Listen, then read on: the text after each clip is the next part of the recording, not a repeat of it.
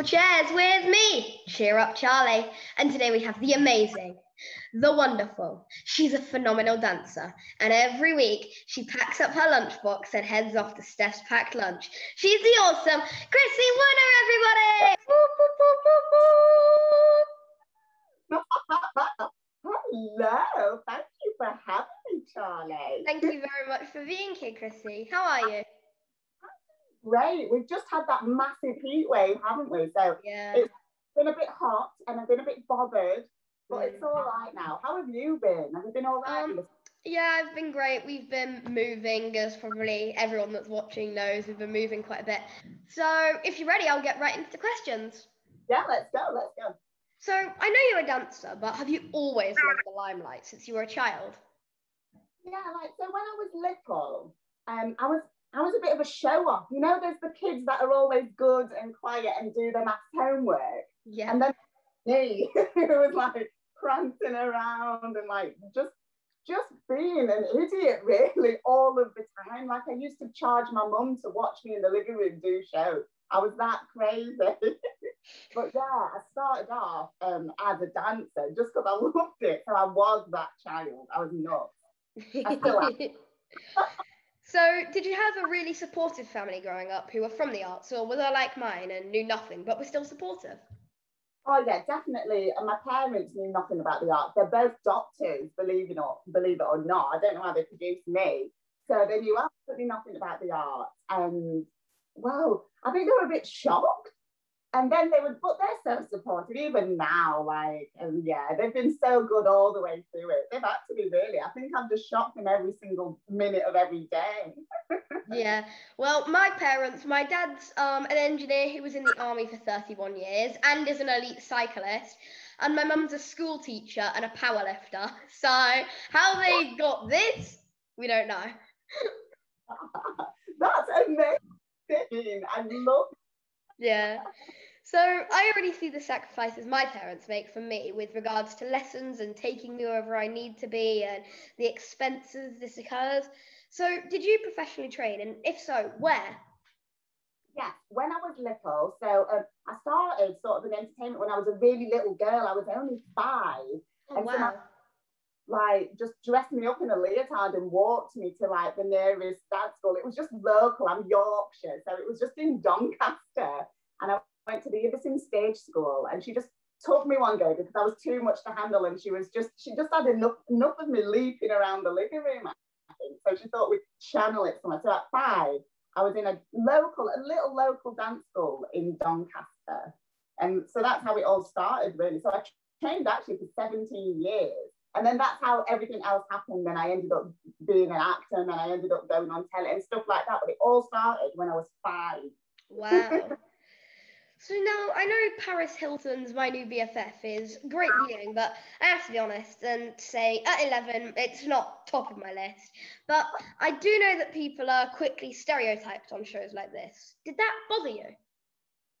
Um, and it never really bother me as, as such. It sort of, it to me, it was just such a fun time and it was such a wonderful memory. And then I, I remember coming out and then seeing all of these really awful sort of tweets and things like that.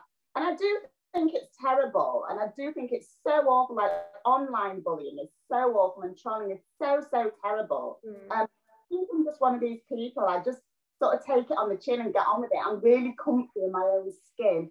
And I think, I know you are too, because you've been through all sorts, haven't Yeah. you? And you're such an inspiration. And I think from my part, if I can take it on the chin, then I can act um, like an inspiration almost. But sometimes it's hurtful, of course it is. But now, you know, like yourself, you just feel like you're doing so well. So why not enjoy it? Yeah. So, think- oh, sorry. sorry. Um, so, what's your most memorable moment to date? You must have loads, but does one really stand out? um, I feel like my entire life has just been full of really memorable moments. So anything from like I'm a mum, I'm a single mum, so I've got two kids of my own. They like those moments I couldn't. I think I shocked myself on the Paris Hilton show when I had to do that burlesque sort of. It was like it was like a, a burlesque striptease. I don't know whether I should even be saying that him, but it was on ITV, so it was fine. And I just remember turning around and just seeing all these producers stood there in shock because they were like, what is she gonna do? That was like crazy. And then moving to LA when I was a little girl, I, I then decided I wanted to become an actress. So I went with a suitcase and got on a plane and flew to LA when I was 19 by myself. Awesome. so I actually met you on Steph's Packed Lunch, where you're now a regular. And as you know, hashtag Cheer Up Charlie was born due to the bullying I received for my love of dancing and song, particularly because I don't fit the stereotype of what a boy should do. And I'm now a recipient of a prestigious Diana Award, where I know my voice is now making a difference for my generation. But this negative behavior is not going to disappear quickly. And as I've learned, it's picked up from adults. How do you think we can change this? Well, it's yeah, you are absolutely right. And I'm so sorry for everything that you've been through. But like I said, you are a true inspiration. Look how well you're doing. Thank you. Um, I think it comes from teaching it down because children, I think, absorb everything and they've learned everything, I'm sure. And I think it all starts at home and it's about education. So I think it's, it's adults teaching children, you know, it's almost like when you sit them at the table and you're like, oh, eat your greens, it's good for you. Or eat your bread because it makes your hair go curly, and people believe it. you know what I mean? So the more we educate our children, they'll grow to be more um, mindful adults, I believe. Yeah, definitely. So you're a massive advocate for talking. How do you think reality shows can help the negativity that stems from it and shows from stems from it shows and ensures that people are given the support they need? Yeah. No, absolutely. Like I think um, like it's sport is everything. It's so important that someone doesn't feel alone, you know, when they're being told. And I'm certainly someone to stand up for someone. Like I think that um I know that sometimes you feel like when you're on a show, you can't really say anything, but people are allowed to say so much about you. And I really think that if someone has crossed the line, I mean, there's little bits of bands, but if someone's crossed the line and are being hurtful, I'm certainly someone to stand up and put a stop to it, not rudely, but just I'll just say I'll, I'll show them where they're going wrong, and not just for myself, but for anyone else. But we have loads of support, even on any show that I've been on.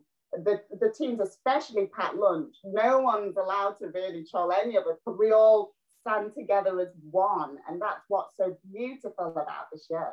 Mm-hmm. It, you know, and we all each other.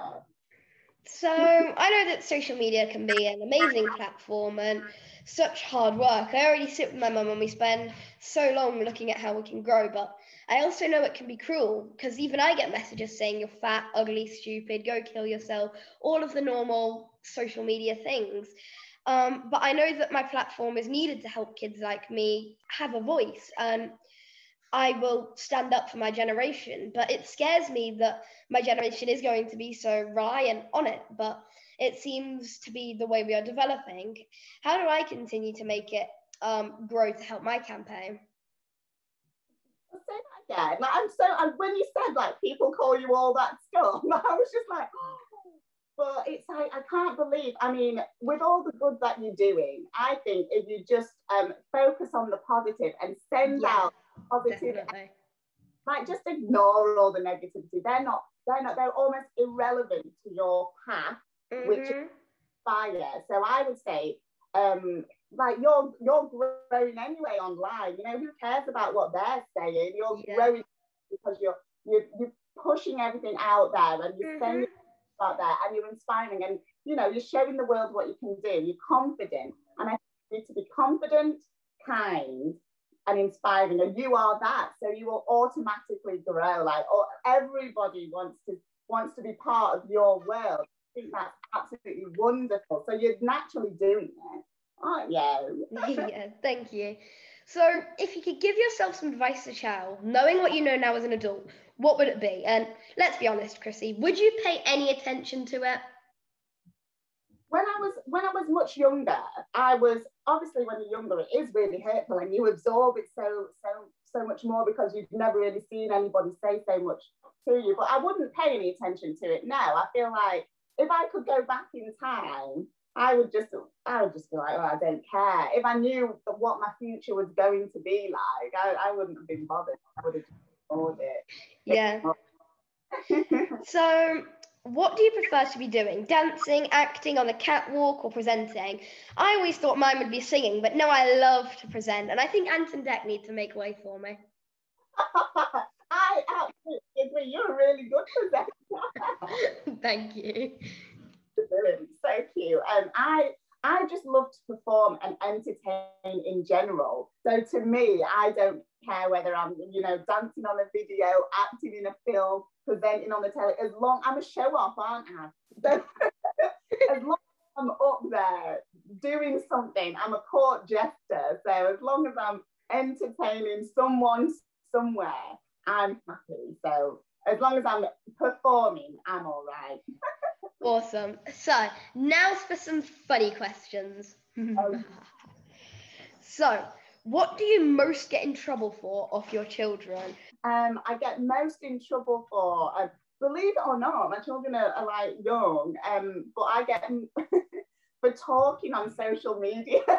like if I'm doing my Insta story, they're always like, "Oh, why is she doing that? She's so sad. Stop it, mum." Like, they're embarrassed. They're like, so they're quite like they're the opposite, really. They're not as showy often.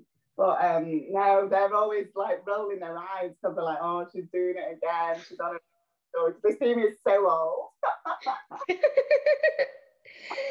so, what's your most disgusting habit? Come on, Chrissie. Even someone as perfect as you must have one. Oh my gosh, I'm definitely not paid. it's like if you asked any of the lunch mates, I'm probably the most ruckus and disgusting one. Um, oh, like those bad habits. It's, it's I don't I'm gonna say. But I kind of tend, I like do sneaky trumps a lot, like, and that's a really bad habit.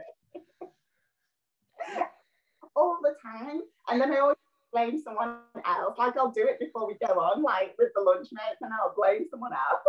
and they're just like, it's Chrissie, and I'm like, it's not me.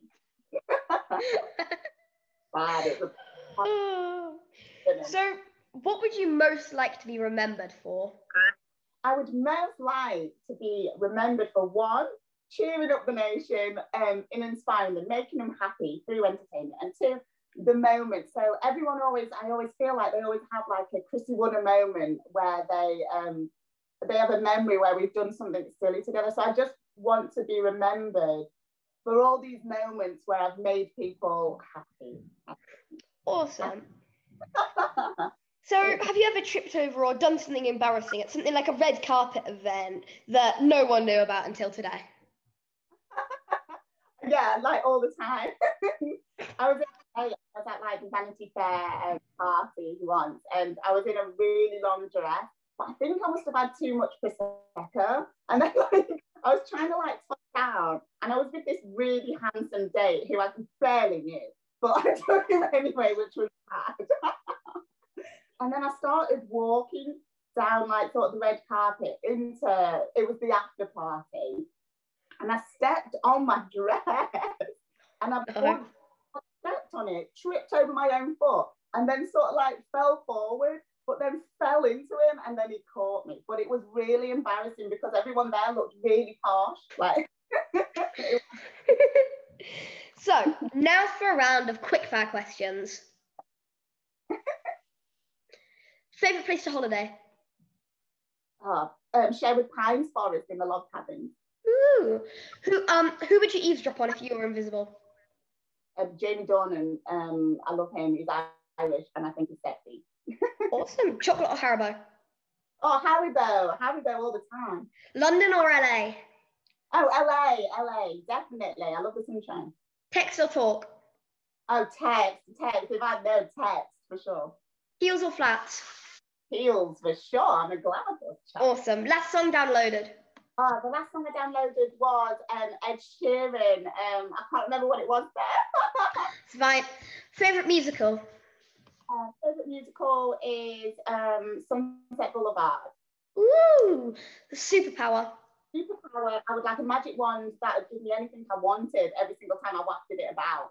Ooh, first celebrity crush.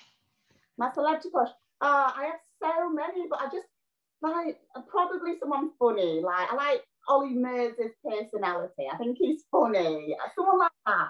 Awesome. Childhood book. Uh, book. Oh, my favorite. I haven't. Do you know what? I've only read one book in my whole entire life. I know, and it was by Russell Brand. It was my book bookie book. That's so embarrassing. but it was a good book. It was good. I love books. I have a whole massive bookshelf upstairs in my bedroom, um, which I have read every single book on the shelf. You're certainly putting me to shame. I, it's, it's, I love to read, and I've got a few poetry books, but I have them all, and then I never read them. I just leave. read one book from beginning to end in my entire life, and it is that one by Russell Brand. Harry Potter house. Um, definitely Gryffindor. I fancy myself. Awesome. Favorite Harry Potter character? Um, Hermione. I awesome. awesome. Yeah, she's like I am. Yeah. Chrissie, it was a pleasure and an honour interviewing you. Oh, it was an absolute honour speaking to you, Sally. You're absolutely amazing. And this is certainly one of my best life moments for sure. Thank you. Thank you so much, Chrissie. Bye.